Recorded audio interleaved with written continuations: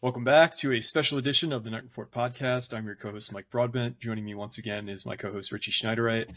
With us today, we kind of alluded to it last week, but we have former Rutgers quarterback and NFL quarterback Mike McMahon. Mike, thanks for uh, taking some time out of your busy schedule to, to, talk some Rutgers with us. No, thanks for having me. I appreciate it. Uh, so I'm going to dive right into it. So at the time you you chose to come to Rutgers, it wasn't the most attractive destination. Uh, what was it about Rutgers that stood out for you, and what were some of the other programs that recruited you out of high school? Uh, well, you know, I, I went to the camp. You know, Coach Terry Shea at the time, he was, uh, you know, a West Coast guy. West Coast offense was big at that time. It was kind of a quarterback guru. There was another guy, Mario Verduzco, who I really liked, and they had sold me on, you know, coming to Rutgers. We can be, we can start, we can change the program. We can be the the start of something great, and and so I like that challenge. And you know that you know we had a bunch of facilities that they were supposed to do, and and uh, and I was excited. And um, so no, I got recruited by you know Pitt.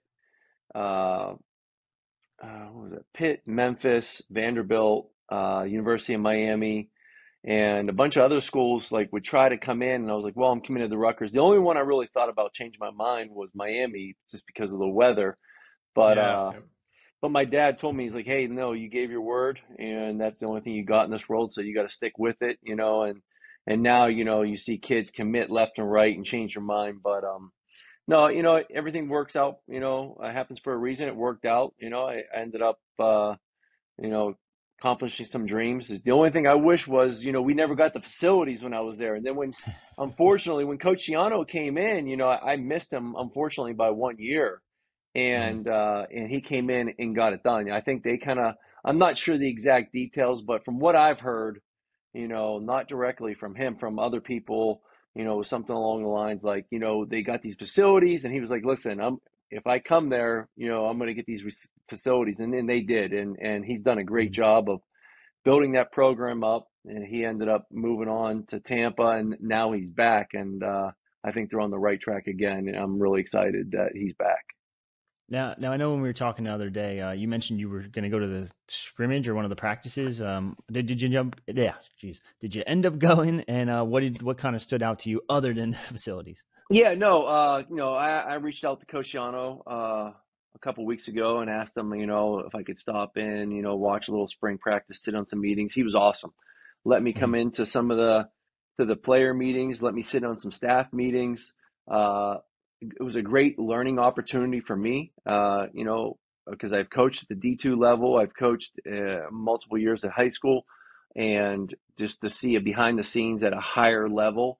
Uh, a lot of times you think you you know you you have a pretty good grasp on things, and then you go and sit in an atmosphere like that, and you're like, man, I, I am still learning. You know, so it was a great opportunity for me. Uh, that was like what two weeks ago uh, went out to some practices, and then uh, I went back to Pittsburgh. And he said, "Hey, anytime you want, come on back."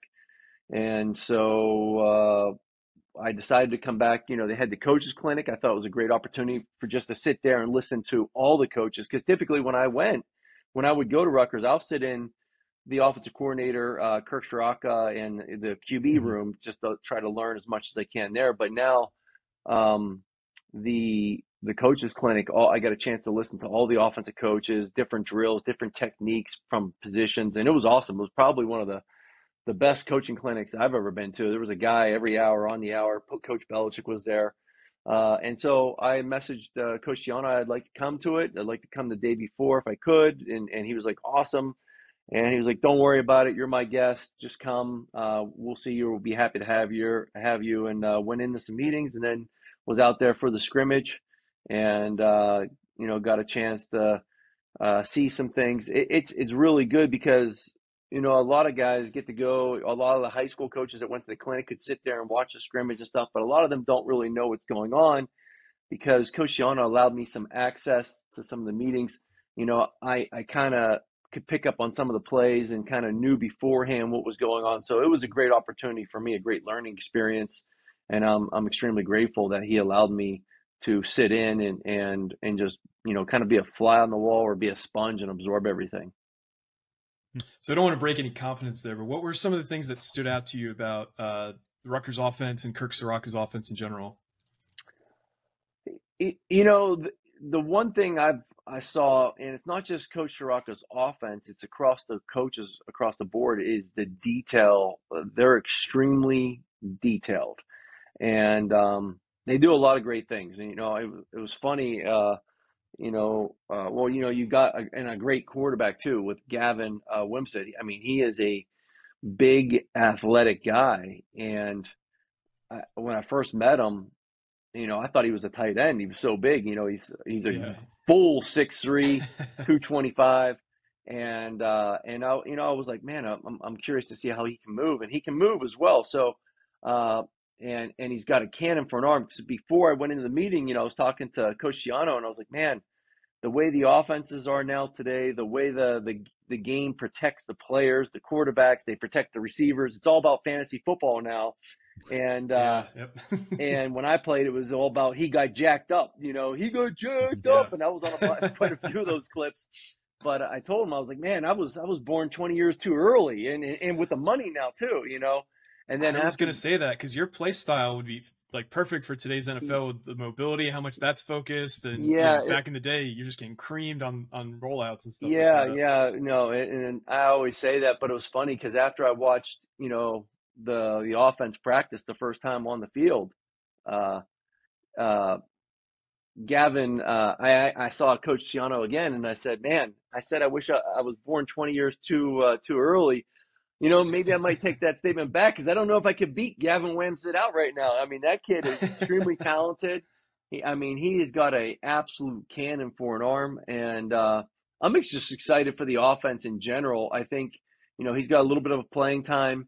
Um, he, uh, uh, you know, with Coach Ciarrocca and, and, you know the new offense and uh, some of the options built in into that offense, I, am excited. You know, it's it's going to be a big year for them, I think, and and uh, and this year, you know, I think they're going to compete, and I think they can surprise a lot of people. And, and you never know; anything can happen. You start getting some wins together. Uh, but I think it's a, this could be a potential big building year for them as well, and just for the program in general.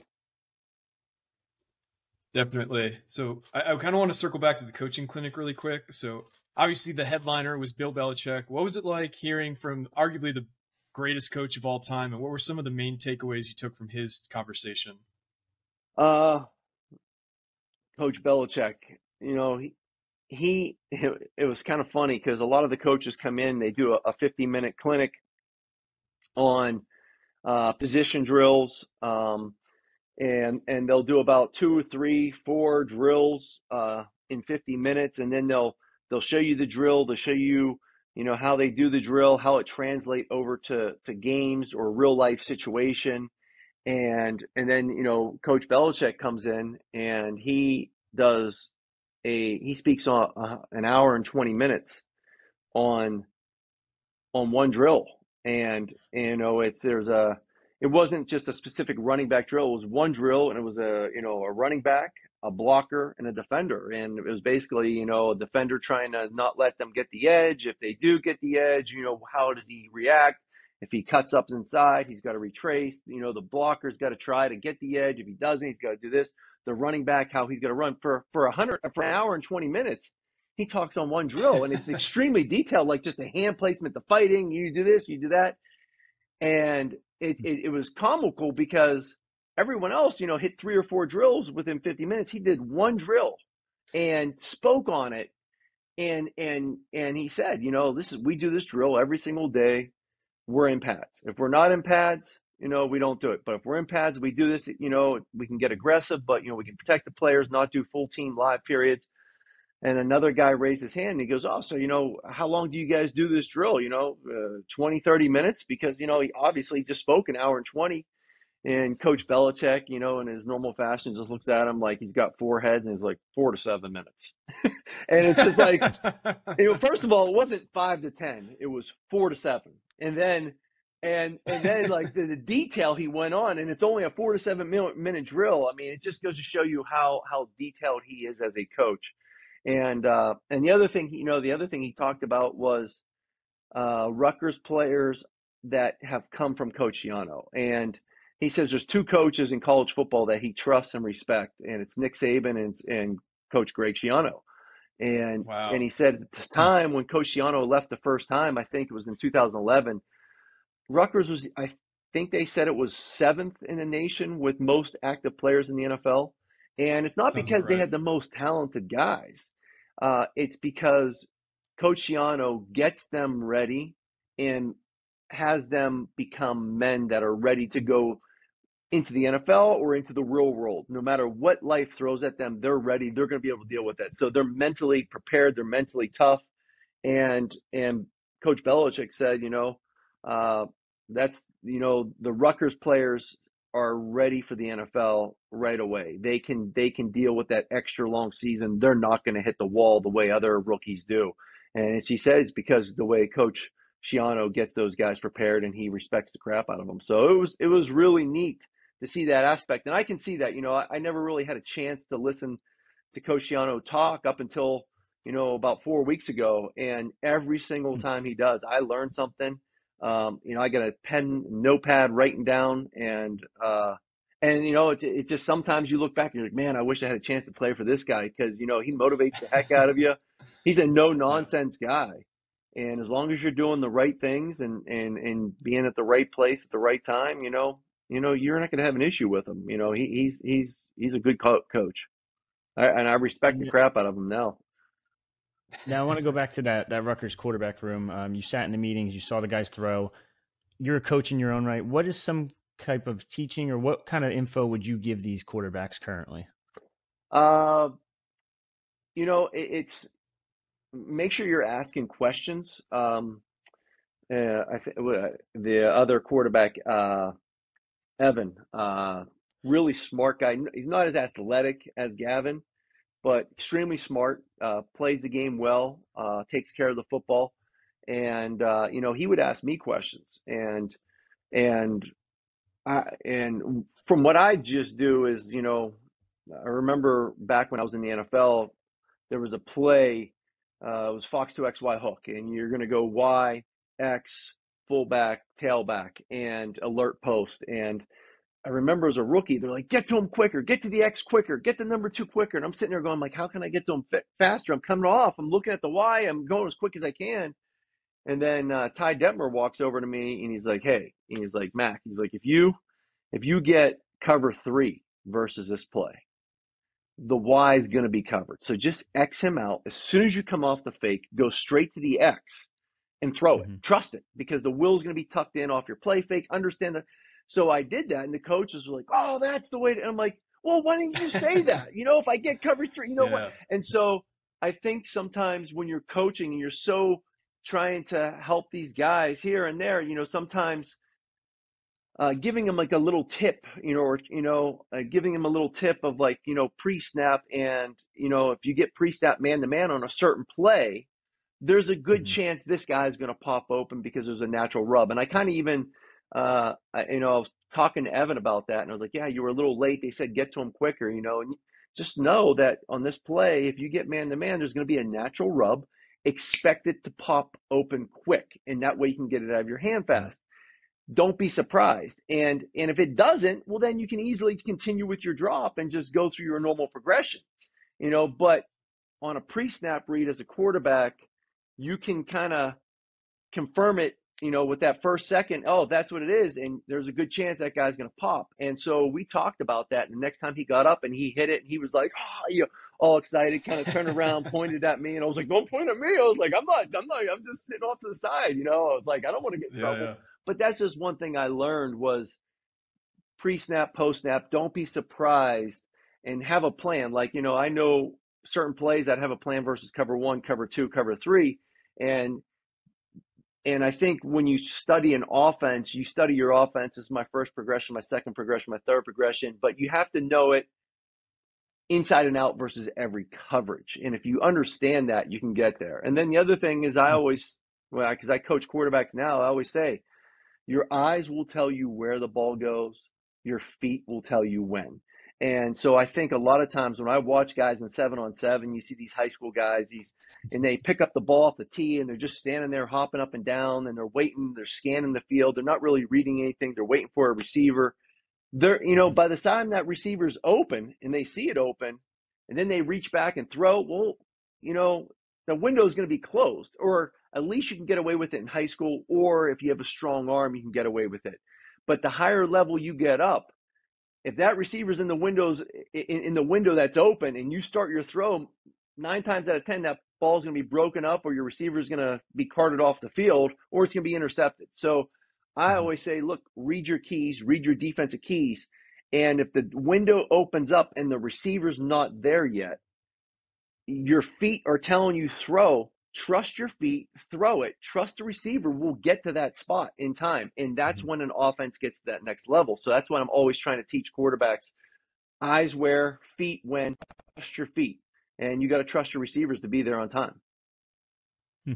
Definitely. I mean, coaching is so much like you need to be an expert in your field, but you also need to meet people where they're at. Because mm-hmm. if you're not a good teacher, you you could be the best, you could be the biggest expert in a certain type of offense, but if you can't translate that simply and you can't meet people where they're at, like you're you're kind of pointless. Like you're as a coach, you're not doing what you're supposed to be doing. Well, exactly. So as a coach, you're essentially a teacher, and and I always look at it is if this kid's not understanding it, you know, I'm not doing a good enough job teaching it. So then I always say, I'm like, yep. what's what what other sports do you play? How can I relate to you? And and I go back to a guy and one of my high school quarterback coaches, you know, I was trying trying to struggle trying to throw a fade route into like a cover two hole, and he's like, "Do you play golf?" And I was like, "Yeah." He's like, "All right, well, like if you hit a sand wedge, it goes really high. We don't want that. And if you hit like a a two iron, it's line drive. We don't want that. We want like a five iron on that throw. And so I was like, "Oh, okay, I got it." And then I was oh, able to get it. So just different sports in general uh, you know, quarterbacking a lot of time, keeping your weight back and, you know, as you're in the pocket. So when you step and throw, you can transfer. It's very similar to a hitter in baseball. You know, if you're sitting with your weight back, it's great. But if you get your weight forward and they throw you that curve, you know, you're going to be, you have no power. So if you're a quarterback with your weight all forward and all of a sudden you go to throw, you're going to have to come back, which is going to take more time or you're going to throw it with no power. So I always, you know, get guys, make sure you're 80, 20, 80% weight on that back foot, 20% on that front foot. So when it comes, something comes open, the ball's locked and loaded and ready to come out with power. Hmm. So I think, I think understanding where kids, different sports they play, how you can translate to them, uh, and, and just maybe sometimes take a step back and, and how can I get uh, through to this kid for him to understand exactly what I'm saying. And I, I think you, I think last year another good example was uh, there was a lot of talk of um, Coach McDaniel's down in Miami, Florida, and I remember I was with him in the UFL briefly. He was our running backs coach, but a lot of receivers oh, wow. uh, were saying that you know he did a great job of helping them off the press, and he he instead of watching press release press releases, he was watching Allen Iverson on a crossover dribble. It's very similar setting up that DB and a lot of receivers uh, it, it, translated with them. So I, I, think it was like Stefon Diggs and a couple other guys. You actually looks like they're they actually look like they're dribbling a basketball and they're kind of doing it on the field and and they laugh and they say that's where they got that from is because it helps them with that release. Yeah, because it's the same concept. Mm-hmm. You're trying to create space. It's just different sports. Exactly. So yeah, it's totally. It's you got to have that innovative mind sometimes to think a little bit differently, to put things in perspective. For because a lot of these guys are dual threat, dual athletes. So a lot of them played basketball in high school and played football in high school as well. So, like you said, relating to them on different levels can just break down walls, create new total uh, paths for their their careers for sure. Of course. Um, Speaking of careers, Rucker, you basically left Rutgers with every record in the books. You were the first Rutgers quarterback ever drafted. Uh, talk about it. You know what? What was draft night like for you uh, in 2001? Uh, well, you know, it was uh, it was a rough process. You know, there's um, when you when you go through that draft process, there's a lot of talk. There's a like, you know, oh, he's going to go this draft, he's going to go here, this team's interested, that team's interested, and in everything that could have gone wrong for me on draft day went wrong. You know, there was a, uh, oh, wow. I remember uh, Kansas City was going to draft me in the third round, and uh, Dallas was going to draft me in the second round. And uh, and I remember the second round came and Dallas ended up drafting Quincy Carter and and I remember oh, yeah, I was so Georgia, I remember yeah, but you know the the reason it was kind of funny because I remember uh, very vividly that Jerry Jones came out and was like, "Well, you know, I, I just had a feeling on Quincy. He and I had the same birthday, so I, I went with that." And I was like, "Oh man!" I was like, "That's oh my stinks," gosh, you know. And then uh, and then Kansas City, uh, they were trying to get, they were supposedly going to get Trent Green, and they couldn't get the deal done.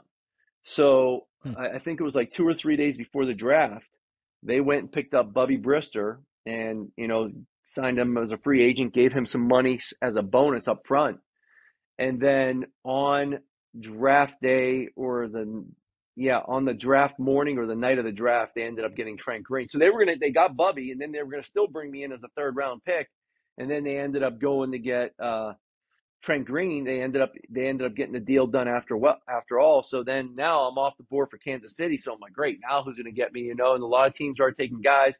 I remember that year, the only two, uh, you know, uh, the the only quarterback that went the first round was Michael Vick, and then Drew Brees went the first pick of the second round. But um, the the quarterbacks kind of fell, and it was a big, heavily D line draft that year, defense, and uh, and so just depending on how it went, like I just you know kept on drafting, and I remember dropping, and I remember the only teams at that point I was like, well, you know, Jacksonville or Detroit, you know, both of them said, you know, we would like you, but we're not drafting a guy till the fifth or sixth round, and you probably won't be there anyway. So you know, yeah, it was great meeting you, and and but ended up coming out, and Detroit ended up uh, drafting me. So you know, it worked out, and but again, it's it's a it's a very tough process. It, it you know, some guys it's great, and some guys it's awful, and and so I was like, all right, well, I I got drafted, and you know, I'm in Detroit and it is what it is. And eventually, you know, I ended up taking, I, I got to start as a, as a rookie and, uh, and then I'm getting injured like the second to last game against the Steelers, broke my foot. Um, but you know, they told me I was going to be the guy and I was going to um, be the guy of the future for them. And I was like, oh, this is great. And then there were some rumblings about Joey Harrington, and I was like, "Oh man!" And they're like, "No, it's a spoke screen. We're not doing it. We're not doing it." And uh, so they asked me to go to a draft party for the Detroit Lions. And I was like, oh, sure, of course. And I was like, just do me a favor. Like, just give me a heads up. Are we drafting this guy? Am I going to be blindsided? And they're Yeah. like, no, no, we're not doing it. And sure enough, I'm at this draft party and they draft Joey Harrington. And, uh, Oh and I remember my, my quarterback coach called me and he was like, I, I have no clue what just happened. It was just, there was a lot of like stuff behind the scenes. I eventually found out later down the road, but you know, they wanted a big name quarterback. They ended up, uh, you know, he had a big name. He was up for the Heisman campaign that year, and and you know they drafted him. So you know the writing's on the wall. It is what it is. When you get when you pay a guy that much money, uh, you know, you're kind of like, all right, well, you just got to continue working hard. But it, you know, you kind of know where your role is going to be. So draft day hasn't 'cause been this- great to me. Two years yeah, in a row. it's still in the time time before the CBA, where like those guys were getting like top of the the NFL level deals. Mhm. Uh, that kind of ended, I believe, after Matt Stafford. Yeah. Uh, so like 2006, 2007. Um, but what was like? Guys always talk about like weird questions they get asked, or like the the strangest scenarios that they get asked in the pre-draft process. What stands out for you? Like the weirdest thing that happened to you in the pre-draft process, from either a coach asking questions or a scout. Uh, I mean, there, there was a lot of, you know, just different questions. And I think when I look back, um, and, th- and then there's a lot of like these, uh, these third party, uh, people and, you know, or companies that will do these, these tests. And it's like, you know, would you be, you know, what do you like better, dogs or cats, you know, and stuff like that. And, it- and it starts to become monotonous because there's, you know, maybe, uh, one company does, you know, works for like three teams, and then another company works for another four teams, and it, it- but you still have to take all these tests, and there's, you know, like 200 some questions, 300 some questions, and you're tired of filling them out, and you start to be like, all right, you know, you start flying through, and you don't really take it so serious at that point because you're at this point, you're like, all right, now I'm just exhausted, and it's the same stuff over and over. What does this have to do with football? And I think it's a lot of like people trying to understand like how a player likes to be coached or what he relates to. And I necessarily, I, I get it. There's a psychology part of it, but I don't agree with it uh, because I, I remember uh, like at times how certain guys got coached, how other guys got coached, other guys got yelled at, some guys didn't, and and I don't necessarily agree with how those tests come out, those test results come out. I I, I do think, and also you know you, you look at the NFL, a lot of these guys going into the NFL and they're making a ton of money and but they're still kids and you see guys you know yeah. make mistakes off the field or get in some trouble here and there and you have to understand that it, they are still kids you know and they're just in the public spotlight a little bit more so uh, you look at a lot of guys you know, maybe some guys, you know, there's a lot of kids getting in trouble, but you don't hear about it as much. And and so when a guy does get in trouble in the NFL, like it's just the spotlight's on him, and now this the money, the dollars. Oh, he's trouble. He gets labeled as certain guys. Uh, I remember they thought I was a party guy. Uh, I I remember laughing hmm. because I had uh, uh, be, the summer before my senior or the summer before my senior year. You know, I had you know blonde hair, bleach blonde hair uh, and then ended up, you know, cutting it and then dyeing it back or dyeing it back and almost grew out or cutting it all stuff. And everyone's like, oh, you know, he's a little bit of a wild child. He's like Dennis Rodman. He's a party guy. And I'm like, wait a second. I drank maybe two or three times a year in college. It was like New Year's Eve and and the Fourth of July. I, I didn't even drink on my 21st birthday. I wasn't a big partier. And I, I, there's a lot of perceptions that uh, these draft people, the scouts, they go in and they do their homework, but – are they really doing their homework? Do they really get a chance to sit down and learn the person uh, who they're who they're talking to and who they're drafting? Because I feel like a lot of guys, obviously, there's a there's a few guys out there. You know, you look at like the Johnny Manziel, like that. Yeah, that's that's not the best yeah, case, yeah. but but there's other mm-hmm. guys that you know they get these labeled these these bad things, and and I think it's completely wrong. And and you really have to try to get the to know the person maybe on a different level, maybe uh, maybe I know the teams are only allowed so many visits and this and that. Maybe give teams more options to meet with these people because you know you meet a guy for the first time, you don't know. Like you know, some guys are quiet, some guys are personable. Just because a guy's quiet, you know, sometimes you know people think he's cocky. Uh, is he really cocky, or is he just a quiet, you know, kid? You know, and and vice versa. You know, so it's it's really difficult to label a kid you know, when you only only know him for a few years, and then you talk to some people. You, I mean, maybe you talk to one of his coaches that didn't like him. Maybe you talk to a coach that really liked the guy. I mean, perfect example is when we were in Detroit. We had, uh, we had uh my my third year. We ended up drafting uh, Charles Rogers from Michigan State University, and oh yeah, yep. and we took we chose him over Andre Johnson from Miami, who went to the Texans. And you see how big Andre yeah. Johnson is, his size, you know, you look at the different careers. And there was a lot of talk they were going to, you know, Charles Rogers is the next Plaxico Burress, this and that.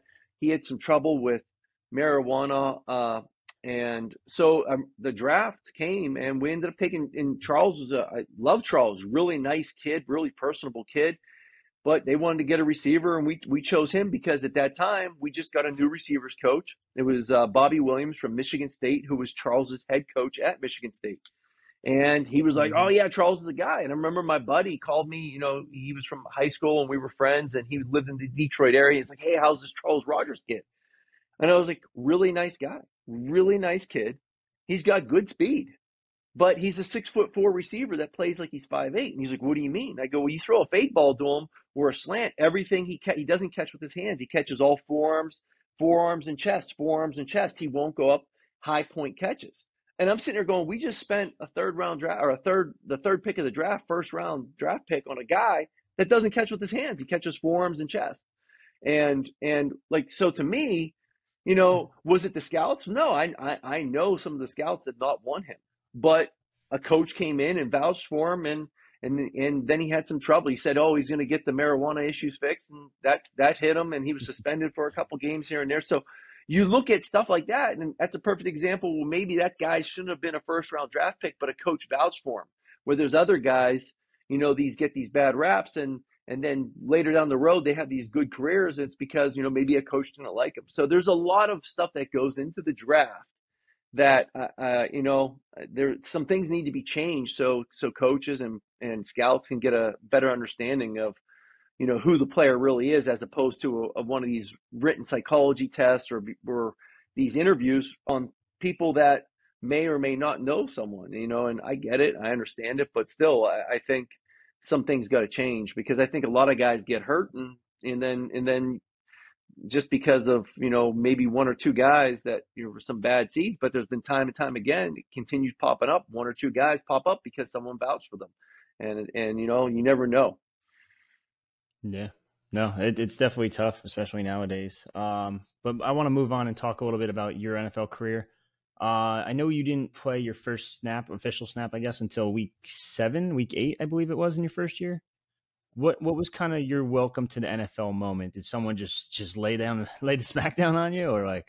No, you know, um, I think my welcome to the NFL moment was when I first got the playbook, and I was like, "Oof!" I mean, this is tough. It's just trying to say the words. Um, it was a big playbook, and um, I remember there was a play specifically, like you know, they would they would give you these plays, and you know they mm-hmm. can talk to the quarterback, and I'm like, well, why don't you guys just give us a wristband? And it was like, well, no, Bill Walsh never gave his quarterbacks wristbands. And I'm like, yeah, but all these other teams do it. Like, well, Bill Walsh didn't do that, and this is how we do it here. And so they would be like, you know, they would be like sprint right G, and that's all they would say. So now I got to remember the play call sheet and the formation and the motion, and then you have to memorize that and then practice saying it because I would get in the huddle and and then if you say it too fast, guys are like, "Whoa, whoa, rookie, slow down." So I remember I'd be sitting at home at night practicing saying plays, and there was one play specifically that was like red left switch, Z right, sprint right G, U corner, halfback flat. And, you know, I had to say it over and over and over again for me to, to get that verbiage out. And um, I think that was kind of my welcome to the NFL moment because I remember calling home in training camp and I was like, man, I don't, I don't know if I'm going to make this team. I really don't. And, and, you know, this is, this is tough. I don't know if I can do this. And then I think it was the, our first preseason game. Uh, it was a home, uh, I think it was a home game. We were playing the Tennessee Titans and just being out in the field and, and the the crowd and the live bullets and once the game I was like man I love this. So, and it was just I was like I can do this. I can do this so you know but but yeah I, I definitely the playbook and just going in and uh and you know you're just like wow these guys you know they're, they're big they're grown men. Some of these guys you know families kids and I'm just you know a young guy. So it, it's it's definitely just showing up and that was uh and then there was another one I've never been to a place where a, a player's talked back to a coach before. We were in the getting ready to start our team meeting of training camp up in Saginaw Valley State University, and uh, the coach uh, Marty Mornhinweg came in, and the, all the guys were talking, and and uh, there was a player up front, and I think he was he was you know Marty was joking, and he was like, "Hey, screw around, screw around, soon you won't be around." The guy got up and was like, "Hey, you don't want me here? I'll leave right now." And it was like, nah, just sit down, you know. But it was like, man, I was like, whoa, these players. I mean, you could see some of the players, man. They there's a, a different level. You know, you, you can't really. It's a different. You can't really have that authority. You got to really talk to the NFL guys slightly different. I mean, because most cases, most of those players make more money than the coaches.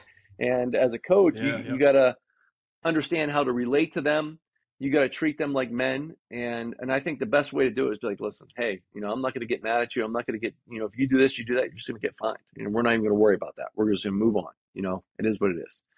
So i mean that's that's the the difference in the nfl and, and in college. So uh, one of your teammates at Rutgers, Shaun O'Hara, he was your center for most of your college career. You moved on and had obviously a great NFL career. Are you guys still close? And what's it like seeing that guy on TV all the time? You know, it's funny because uh, Shaun really took me underneath his wing in college and stuff, and I was very appreciative of that. You know, he was he was definitely our best lineman. He was our starting left tackle, and I think a few games our center got hurt, so Shaun had to come in and play center, and that's his true natural position. And uh, yeah, Shaun's always been a great friend to me. Uh, really, really good guy. You know, he I went to go see him. Uh, I was a senior in college. He was with Cleveland. I went to go see him. I think at a mini camp or a training camp. I can't remember which one it was. It was it was when I had some time off, and then. Uh, but yeah, uh, and then he went to New York, and the rest was history. And you know, he's he got a couple rings and great player. Uh, all that hard work paid off. He walked on at Rutgers, was undrafted free agent, and uh, you know he deserves every every bit of success he gets. And uh, yeah, you know, as life goes on, you know, you don't talk to each other as as often as you have. Uh, but you know, here and there, you know, you see him, it's like, hey, what's up? You know, you shoot him a text and stuff like that. So. Uh, I last week I was out Rutgers. Uh, his his O line coach uh, at the Giants for a while was you know Rutgers O line coach now uh, Pat Flaherty and uh, and he was like hey you get text O'Hara tell him to get down here and I did and Shaun was actually down in Disney World at the time uh, doing some stuff so uh, but yeah you know he said he may be back for the spring game so uh, i may try to get back out there as well then I'm not sure if I can but but yeah yeah Shaun's a great guy and you know he deserves every bit of success you know just a hard work person he, he everything he's done kind of sticking with uh, your time at Rutgers, and um, I want to talk about your your your former head coach and Terry Shea. Mm-hmm. Talk about him and the relationship you guys had, and then how would I know you didn't play for Schiano, but how would you kind of compare him and contrast him to Schiano? Uh, well, Coach Schiano or uh, Coach you know, we had a we had a great relationship. Uh, uh, a lot of you know it's funny a lot of people used to call my dad uh, you know garrett shea was there and was like he would be like oh your dad's over there you know um, he was tough. He was tough on you. He he expected a lot out of you guys. Uh, however, we we we messed with him a little bit in college. Uh, uh, we we got him on a few April Fools jokes uh, twice back to back, and uh, and we got we got yelled out pretty hard for both of them, but it was worth it just to get a good laugh. Uh, and then Coach Shea, Coach Shea went on uh, to coach with the Chiefs, uh, learned Ver- Vermeil with, uh, with Chiefs and, and Al Saunders, learned that offense. He went from the West Coast to the, the number system, the greatest show on turf type offense. Uh, and then uh, it was funny because, uh, you know, here and there remain in contact. And then the UFL, I played for Denny Green, and then and then I my shoulder was re-injured uh, I had to get it cleaned up, and when I when the doctor went in in 2010, uh, he was like, "Listen, you sh- you shouldn't ever throw again." He's like, "You got bone. Your you, the, after your first surgery, uh, when I blew it out, they, when they went in and, and did the surgery, they did it a little too tight, and so every time I was throwing, you know, I was just, just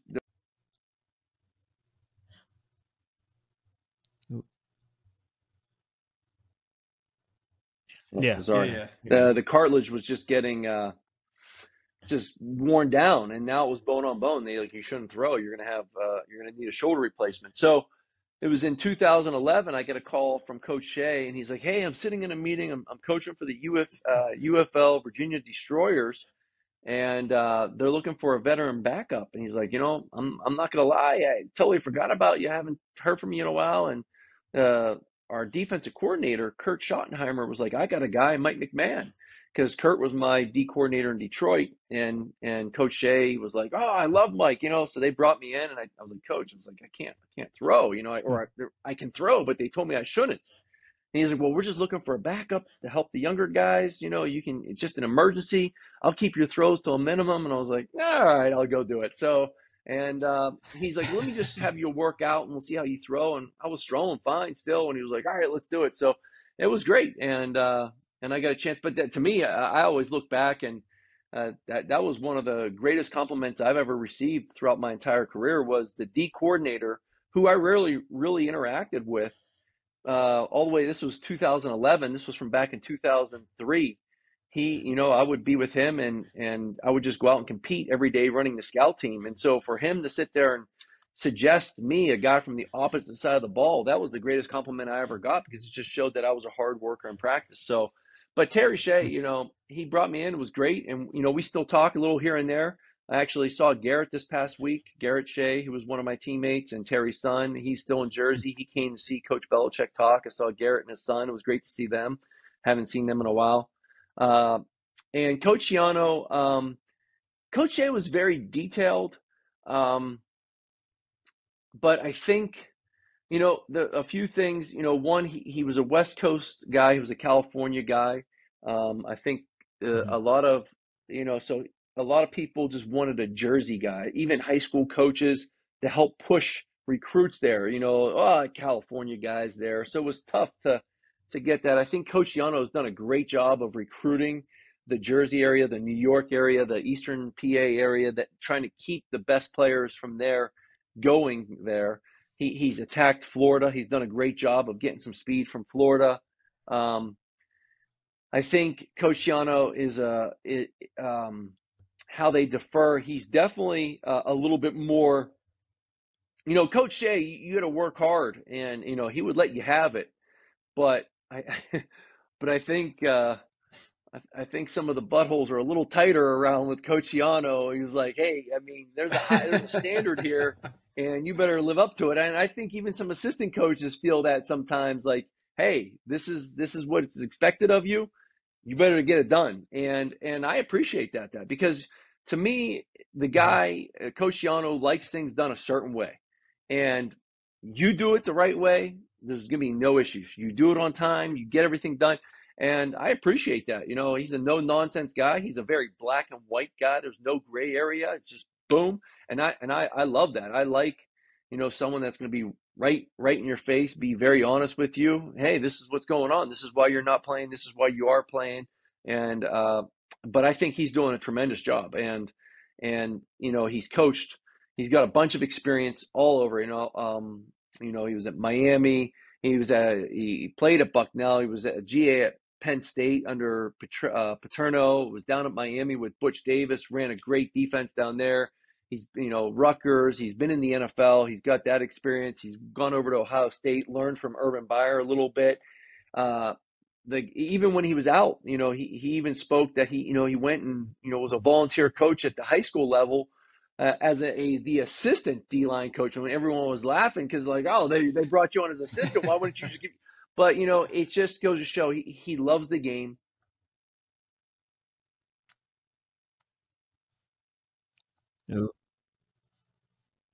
Loves the game. He's not afraid. You know, hey, he's going to humble himself wherever you need me. And uh, yeah, he's he's just a tremendous coach. And like anytime he walks in and and, and addresses the team, uh, like he, there was a teaching point in those team meetings and i had my my pen and notepad out the first day i sat there and i didn't realize and i'm like trying to type notes on my on my phone and i couldn't keep up so the next time i made sure i had my pen and paper and uh, you know because I, I learned a lot from him and uh, situational football whether it be situational football whether it be life experience he's a great teacher and i think he's a great mentor for not only the players i think for coaches as well. Definitely so we've talked about your career, uh, both on the field, and you mentioned you were a coach. What are you up to these days? So no, I uh, so I coached high school this past year. I was the pass game coordinator. We went on. Uh, we started off a little rough start. We were one and three, but we ended up winning every game after that, and won the state title. Uh, ended up winning. Uh, Hell yeah! We beat Imhotep Charter. Uh, they had seven Power Five guys on scholarship going to their school. We had uh, not really anyone, but the kids bought in. We had, a, you know, the Imhotep charter. They decided to line up and just do their thing, play man to man. And I was like, man, you. I played with Andy. I, I, I was underneath uh, Coach Andy Reid, and uh, that guy's the master at man to man rub routes. So you guys want to do that? We we got something for you. So.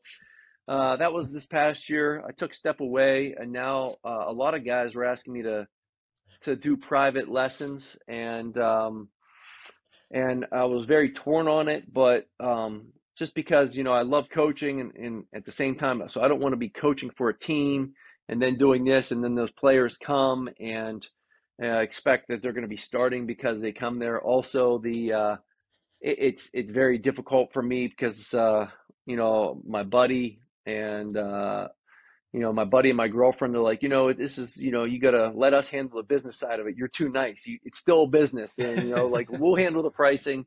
So I actually reached out to a buddy of mine who I, uh, played against in high school, Madi Williams, and he actually trains yeah. quarterbacks out of, out at North Jersey. And I think it's Mad QB. He, he does, but yeah. great quarterback coach. We talked and I asked about his pricing structure, how he does things. And, and he was very nice enough to share some of his info and i kind of went off the same format he does and so uh, i do train quarterbacks out of western pa um, started off slow it's picked up and the only really it's kind of word of mouth or social media for me twitter or instagram and um, and now i you know i tried first it was trying to find an indoor facility, but now that it's nicer to get out in the fields and stuff, and it really picks up. And I, I like to see uh, the kids improve. And and so fortunately for me, I haven't had one guy who showed up once and just never come back.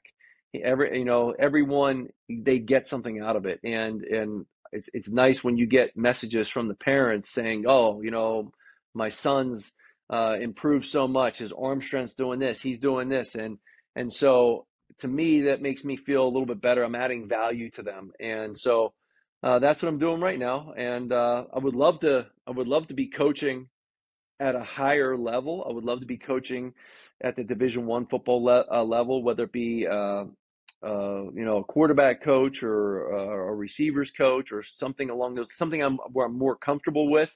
And then work my way up. Or even, you know, ideally, I would love to be in the NFL. You know, start off quality control or even NFL internship. It's kind of tough though because those are typically right now they're a little safe for the, you know, it's a minority internship, so uh, uh, it's a little bit of an uphill battle. But you know, if someone were to give me that opportunity, I would I would jump at it a second, and I know my work ethic would would show, and I would be able to work my way up because I love football. I love helping. I, I, I truly want to be at that highest level because I look at when I was in the NFL, um, you know, quite honestly, my best quarterback coach was Ty Detmer. He was a backup quarterback. He wasn't even the coach. And and I hmm. feel that quarterbacks that have played at the highest level and have played the game, uh, I think those typically make the great quarterback. Because obviously, there's a time you know you can study it and do this and do that and not have played and still be a good coach. But I think the quarterback position really helps if you have a quarterback a former quarterback coaching it because he's been in those situations. He understands what it's like to get pressure and different coverages and different types of pressure situations. And you know, I think with the with the Lions are doing right now with Mark Brunell, that's that's phenomenal, and I think he's doing a great job. But I would love to get my foot in the door, be a quality control guy, work my way up to a quarterback coach, and then eventually uh, be a an OC at, at the highest level. Do I have aspirations to be a head coach? Absolutely not. I just want to be a. I love the. Uh, I don't want to deal with the off the field stuff so much. A head coach has to deal with. I love doing the football stuff. I love doing the offense. Uh, I love game planning. I love watching teams and trying to figure out how I can attack a different team and and show players. But at the same time, working in a quarterback room and talking to these guys and sh- talking to them about how to deal with the media, how to deal with off the field issues because uh, I know I made my fair share of mistakes, and I think if someone would have guided me a little bit better, and it's my own fault, but you know, obviously, I think if you get guys that have been there and in, in those positions that have been truly humbled by certain things, you know, I think you can really get through to those players a little bit more. And I think those guys still need quality coaching. I, I, really do. Um, you look at the NFL and and a lot of it's basically the uh, uh, you know the position coaches you know do some drills and stuff, but a lot of it's the OC and and I, I still think there's a lot more that could be done at that that those position works and just build relationships as opposed to just being a business. Now, let me ask you this: Are there any notable quarterbacks that we should keep an eye on for the future over in Western PA? I know they're producing talent at like a yeah. There's um, there's a kid um, Julian Dugger. Now he's he's kind of well known mm-hmm. from Penn Hills right now. Uh, I do think some people are looking at him, you know, like, well, hey, can he play receiver? He's more of an athlete. I'm like, listen, you know, he's he's the more he comes, you can see him improve every single day, and he's becoming a quarterback. He's becoming a passer, and I, I think the system he's been in, you know, it's been a you know, run system, you know, read option from the gun. They don't really put him in the best position to do dropbacks. And and I think that's kind of hurting him in his recruiting opportunity because people think he's just, you know, he's a big athletic guy that can run and he can throw the ball and he can throw the ball well on the run. He can throw the ball well from the pocket. He's extremely accurate. And I think that's one guy. Another guy is Caden Olson. He's actually going to the University of Penn. And um, you know, and and for, for whatever reason, Pitt was recruiting him early on. They fell off, but he's you know he's a good six five, you know, two twenty five, and his arm strength's improved. Uh, his velocity's improved. He, his feet are improving. Um, now I had spoken to Duke about him, but you know they he he would have had to apply. He could have walked on but he didn't apply, and now he's past the deadline because they said if he would have applied and got in on his own, they would have taken him. But um, I think he's another guy that would probably play one or two years at Penn and maybe move up.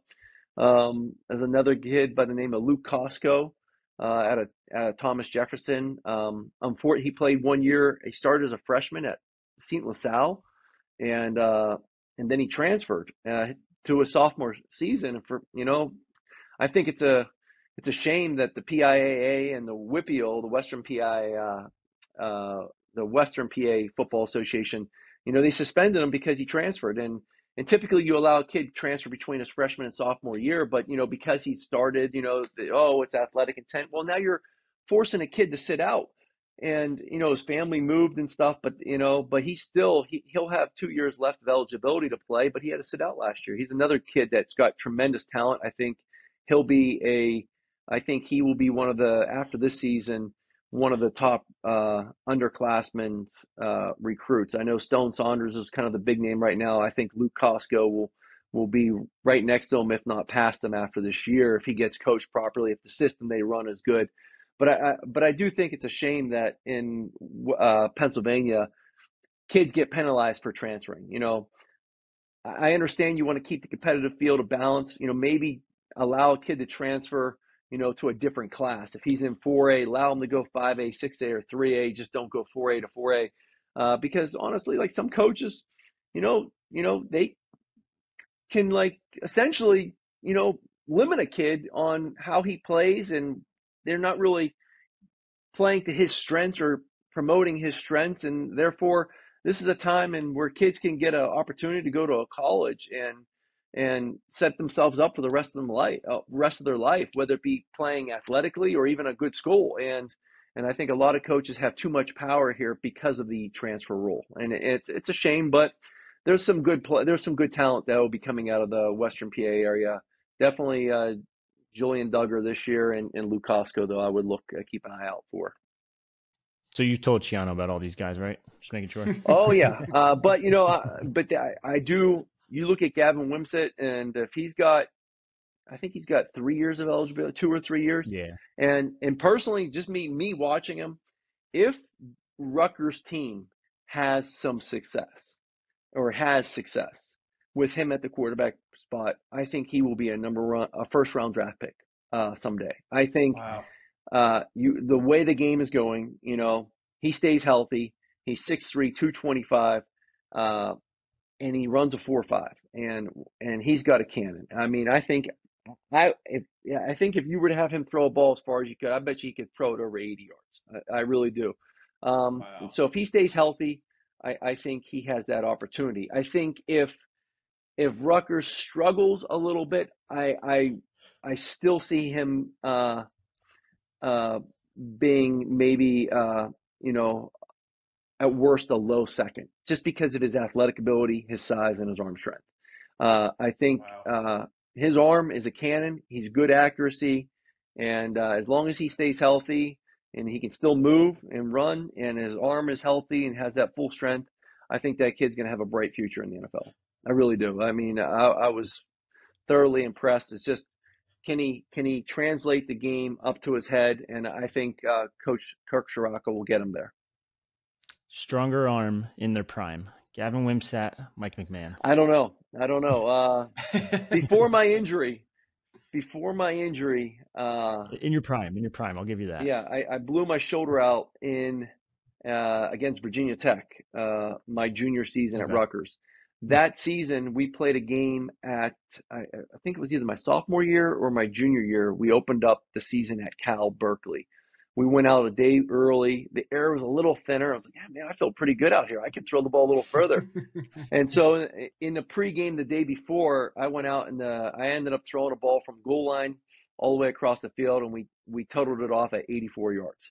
So wow. I don't know. I don't know how far Gavin can throw, but that's the furthest I got it. Now, at the same time, I wish someone would have told me, you know, not until I went to Detroit. Johnny Morton, my first day was like, do not throw the ball that hard to me this close ever again you know, and I learned, you know, slant routes, you know, under routes, in breaking routes, take some off. You want to complete. You know, everywhere I've been, coaches like, hey, just get it to him as quick as you can. Give him the fastball. And, uh, and yeah, and, you know, it didn't help because you know the, the, there was a lot of drops, you know, a lot of tip balls, um, mm-hmm. and I think uh, my our receiver Andy Holland, we were, uh, it was my junior year, we were out there practicing. It was a two a day practice, no gloves, just just helmets, and I let a dig rip over the middle of the field, and when he uh, was running, the ball went right between his the, the two the two fingers, Ooh. his middle finger and his and his ring finger, and he had no gloves on, but the ball was spinning and moving so fast that when it hit there, it split the webbing of his hand right down the middle, about Ooh. halfway down. So he had to get oh. stitches and tape his fingers for the rest of the season. So uh, that was a 15 yard dig run. That's not something I'm, pre- but you know, I had a strong arm. I mean, but no one told me to take off the football, you know? So I had to learn the hard way. Johnny Morton told me, uh, hey, rookie, don't do it. I won't catch it. And so uh, yeah, it yeah. took a while, but yeah, you know, it's nice to have that strong arm when you need it. And it just took me a while to learn. Uh, you know, it took me to the NFL to learn to take some off the football. So uh, I think once hmm. young quarterbacks learn that as well, it can help them as their careers as well. Because a lot of kids will throw the ball extremely hard on a slant route, and it makes it difficult for your receiver. So uh, taking some off the football, getting that completion, however it is, uh, definitely will help uh, young players. But Gavin, I, I, and I did speak to Gavin. He did he did let one rip in practice, and I told him the same story. I told him all that, and and he was like, "Yeah, I, I kind of let that one that one go a little fast on that one." I was like, "Yeah, your receiver had no chance. I mean, you, you were like literally ten yards away, and it like went right through his hands, and and and uh, and he had gloves on and everything." I'm like, "Yeah, you got to you, you the, the object is complete the football, not throw it as hard as you can. And he was like, No, you're right, you're right. So no, he's a good young kid. I, I expect big things from him. That's awesome. Uh, you've been so generous with your time here, Mike. Uh, want to let you go, but is there anything you wanted to to plug before we head out? And where can we find you on social media? You mentioned Twitter and Instagram. Yeah, uh, no, again, I do the quarterback training if anyone's interested, but uh, and I do private training. Um, I do private, I do semi-private, I do group training. My Instagram and my Twitter is the exact same. It's uh, Michael E. McMahon, M I C H A E L E M C M A H O N. Uh, it just so happened, you know, my middle name starts with an E, and uh, I was able to lock down both of those for on Instagram and Twitter, so I kind of kept it. So that's what my Instagram and Twitter is. That's my only two social medias. I'm not on Facebook. I'm not on, as Coach Belichick says, Snapface. Uh, so uh, you know that's that's all. If you need to get a hold of me, that's how you get a hold of me, or you can email me at uh, qbcoachmac m-a-c at gmail.com. Awesome. Well, everybody listening at home, thanks again for tuning in. This has been another edition of the Knight Report podcast. Signing off.